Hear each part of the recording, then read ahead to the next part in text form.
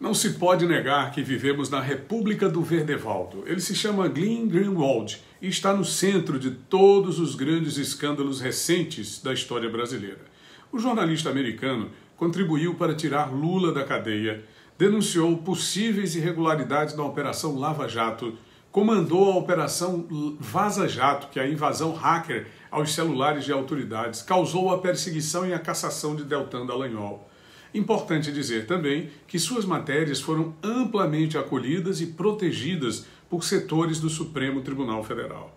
Agora ele expõe o próprio STF, através de Alexandre de Moraes e suas decisões fora do rito processual, que perseguem claramente bolsonaristas. Segundo o jornalista Diogo Mainardi, que definitivamente desistiu do Brasil, Greenwald trabalharia para Elon Musk e Vladimir Putin.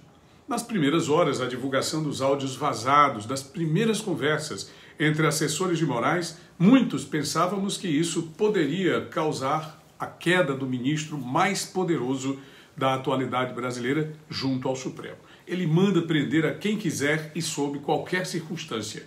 E não há força viva sobre a terra que possa barrar sua escalada autoritária, mesmo a maioria concordando que há ilegalidades em seus atos. A oposição se mobilizou na tentativa de forçar uma tomada de atitude da presidência do Senado no sentido de instituir um processo de impeachment contra Alexandre de Moraes. O senador Eduardo Girão, do Podemos do Ceará, disse que um grupo de senadores e deputados federais está fazendo um pedido de impeachment coletivo do ministro e que as assinaturas serão colhidas até o dia 7 de setembro, dia da independência.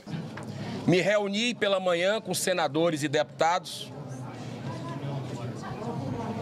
para apresentar, apresentarmos juntos um pedido coletivo de impeachment, que transcende, quero deixar muito claro aqui, essa questão de ser de direita, de esquerda, contra governo e a favor do governo. É muito mais que isso esse momento que a gente está vivendo.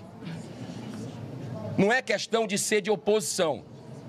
É questão de defender verdadeiramente a democracia do Brasil, de respeitar a lei do Brasil. Então, na conversa que nós tivemos ontem pela manhã, elencamos uma campanha nacional a partir de deputados e senadores capitaneando.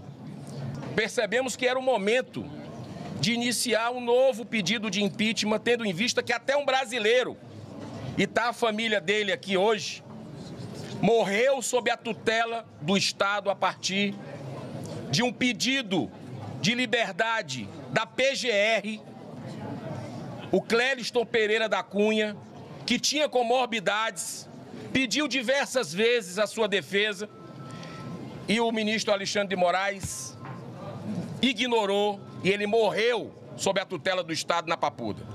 Alguém acredita que isso vai resultar no impedimento de Moraes? Claro que não. Ele sempre dobra a aposta porque sabe que pode contar com os seus. A mesma Folha de São Paulo, que publicou as denúncias, informa que cúpula do Senado afasta a hipótese de impeachment de Moraes após ofensiva de bolsonaristas. Senadores veem poucos efeitos práticos, apesar de apelos da oposição, e afirmam que pressão deve perder força. A fala é atribuída a aliados do presidente Rodrigo Pacheco. O próprio não teve sequer a hombridade de se manifestar publicamente, mandou os outros falarem por ele. Alexandre de Moraes mandou prender dois blogueiros bolsonaristas nesta quarta-feira, logo depois das divulgações. Ele reagiu, determinando nova ordem de prisão, a enésima, contra Oswaldo Eustáquio e Alan dos Santos, que estão no estrangeiro. Ele também determinou que seja presa a mãe de uma jovem adolescente que se manifesta nas redes sociais contra possíveis abusos do ministro, se ela continuar se manifestando. As informações são do deputado federal Eduardo Bolsonaro. Ele disse que Moraes tem que ser contido, mas defende a legalidade como forma. Não se pode, segundo ele, trilhar pelo mesmo caminho de sombras. Ministros do governo Lula saíram em defesa de Alexandre de Moraes. O vice-presidente Geraldo Alckmin fez discurso alegando que ele está sendo perseguido por fazer o que é certo. Flávio Dino, hoje ministro do Supremo, comentou que foi professor de direito por décadas e não vê nenhuma ilegalidade nas atitudes do seu colega. Mas é claro que não. O presidente do Supremo, por sua vez, Luiz Roberto Barroso, afirma também que não vê problema nas atitudes de Alexandre de Moraes. É claro que não.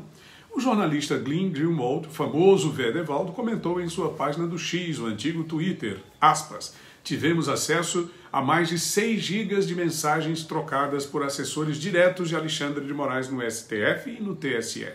Este é a nossa primeira reportagem sobre o arquivo de mensagens e o que ele revela.